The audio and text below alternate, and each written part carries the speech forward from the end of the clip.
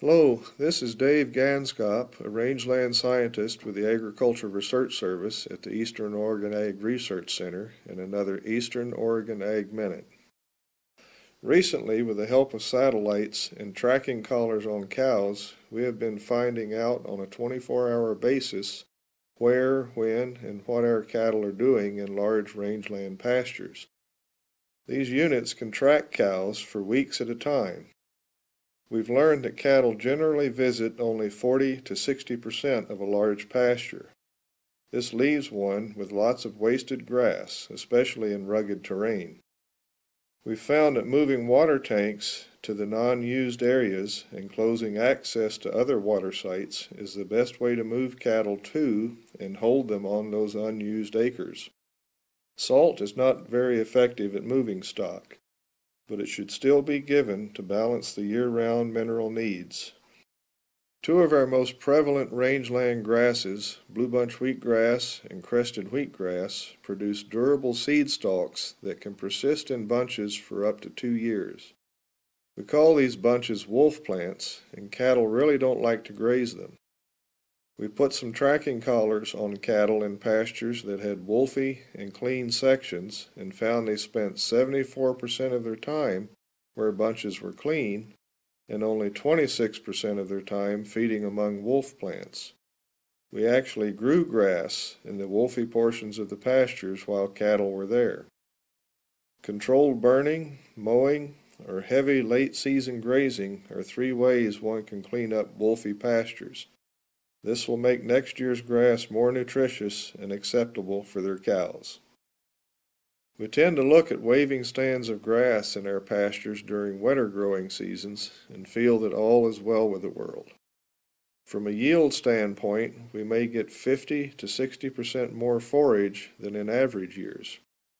We've found that while we have a lot of grass, much of the crop is seed stalks and the grass's nutritional value quickly declines to a level that will not support cow-calf gains past early to mid-July.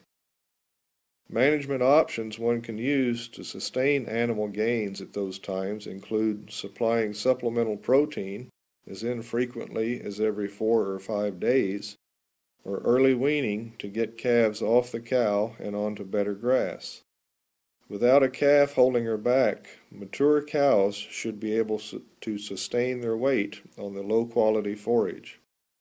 An obvious downside to drought is that we don't grow much grass. We've measured forage quality of grasses through wet and dry years, however, and find that nutritional quality is higher later into the growing season during dry years than in wet ones. Also, June or July rains in the dry growing season will switch grass growth on again and give us more growth. Grasses won't do that in wet years. During a drought, don't worry too much about forage quality, but try to get cattle to work over the entire pasture. Pounds of grass per acre is the limiting factor then. Use pastures with seasonal or temporary water first, and then open or close gates to perennial water to force cattle into unused pasture corners.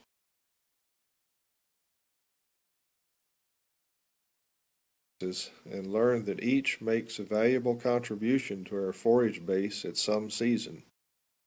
Blue bunch wheatgrass and Idaho fescue are the meat and potatoes for our region because they yield an abundance of high quality mid-season forage. Sandberg's bluegrass, bottlebrush squirreltail, and yes, even cheatgrass can make good contributions too because they green up first in the spring and they respond to midsummer or early fall rains with another flush of growth. Rangelands that have a full array of grasses give us about a six week longer period of adequate nutrition for cattle than a pure stand of crested wheatgrass. For that reason, we want to take especially good care of our native rangeland pastures. I am Dave Ganskopp. Thanks for being here, and we'll be back.